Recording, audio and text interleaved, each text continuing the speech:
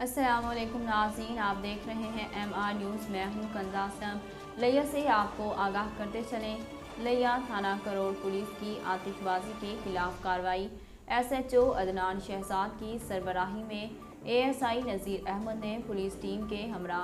कार्रवाई करते हुए मुलजिम सजाद अहमद को गिरफ़्तार कर लिया। मुलजिम के कब्जा से चार लाख रुपए से जायद मालिक का सामान आतिशबाजी बरामद हुआ।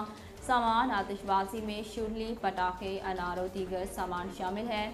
मुलजिम ने सामान आतिशबाजी फरोख की नीयत से अपने कब्जे में रखा हुआ था, जो कि कानूनन जुर्म है। मुलजिम के खिलाफ मुकदमा दर्ज कर लिया गया। S H O Adnan Shahzad का कहना है कि कानून की खिलाफ वर्जी के खिलाफ बिला तफरीक कार्रवाई अमल में लाई जा रही है।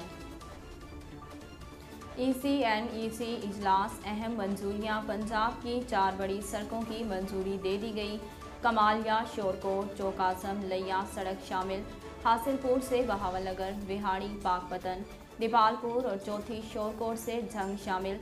जनूबी पंजाब की 16 तहसील के देही इलाकों के लिए साफ़ पानी के मंसूबे मंजूर। पब्लिक प्राइवेट पार्टनरशिप के तहत खातिया रावलपिंडी, मोटरवे की हतमी मंजूरी दे दी गई। थाना फतेहपुर पुलिस ने कार्रवाई करते हुए एक मुलजिम इश्तहारी ए कैटेगरी गिरफ़्तार कर लिया और इसके कब्जा से मसरूका एक लाख रुपए भी बरामद कर लिए।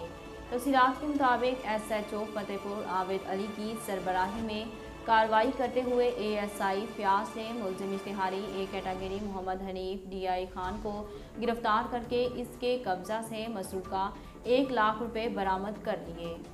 मजीद कानूनी कार्रवाई जारी है। एस एच ओ का कहना था कि इनके खिलाफ बिला तफरीक कार्रवाइयाँ जारी रहेंगी। वज़ीर अला पंजाब उस्मान खान बुजदार के विजन के मुताबिक लिया में कब्जा माफिया के खिलाफ कार्रवाइयाँ। डिप्टी कमिश्नर मोहम्मद शहबाज हुसैन की हिदायत पर महकमा रेवन्यू का काबजीन के खिलाफ ऑपरेशन। काबजीन से तैंतालीस एकड़ छः कनाल रकबा वागजार करा लिया गया। वागजार कराया गया रकबा महकमा जंगलात की मलकियत थी। वागजार रकबे की मार्केट कीमत 40 करोड़ रुपए है। काबजीन अरसा दराज से जंगलात के रकबे पर नाजायज़ काबजीन के खिलाफ कार्रवाई फतेहपुर के मुख्तलिफ़ जगहों में की गई। महकमा जंगलात के शेल्टर बेल्ट पर किसी को कब्जा नहीं करने देंगे। महकमा जंगलात से तमाम तफसीत तलब कर ली गई। नाजरीन, अब तक के लिए इतना ही। मजीद खबरों और अपडेट के लिए देखते रहिए एम आर न्यूज़ अहलियाने लिया के लिए खुशखबरी।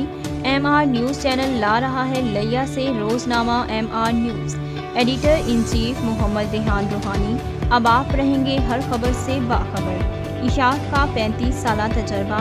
खूबसूरत इशात के साथ बहुत जल्द रोज़नामा एम आर न्यूज़ का आगाज़।